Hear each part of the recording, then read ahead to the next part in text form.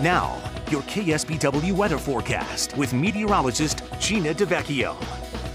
Another nice sunny day at our Santa Cruz beaches with temperatures in the mid 70s up in the Santa Cruz Mountains. Lots of 80s, upper 80s for our warmest spots of Ben Lomond and Boulder Creek, but not too hot for this time of year. We'll go inland and you can see temperatures cool near the coast. Watsonville, Prunedale had difficulty warming up and then the sun came out warm near 70, Aroma 77, and then Gilroy, Morgan Hill, as we expected, mid 90s. And that was really our warmest spot today. Then down in Hollister and in the Hollister Valley, only some low 80s. Down the Salinas Valley near 80 degrees, so not too bad there.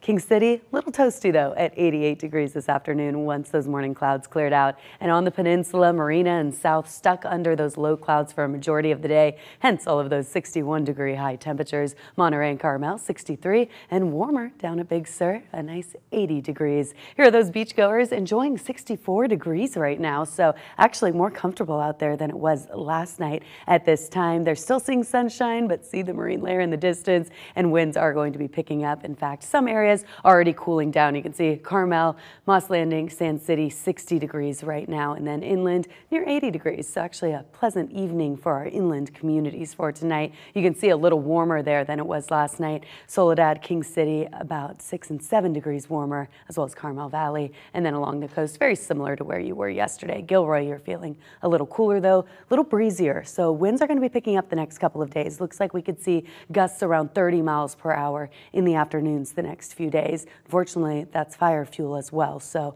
be extra cautious in the areas for the next couple of days. And here you can see the satellite from uh, this earlier afternoon where, yes, sunshine did come the way from the northern parts of the Monterey Bay, but towards the south, stuck under those clouds, and now they are returning in these evening hours. So looks like a nice evening inland, but near the coast, you're going to want some layers.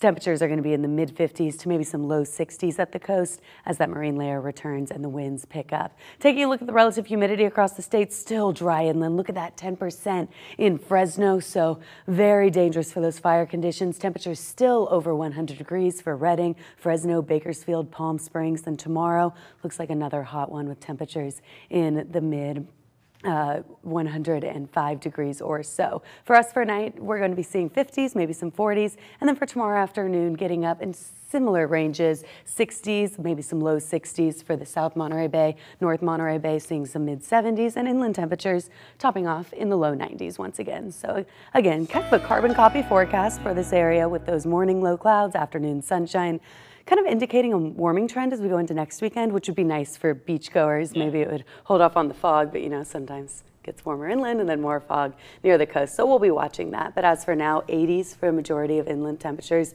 That's pretty good this time of year. For sure. Okay. Mm -hmm. Thanks, Gina.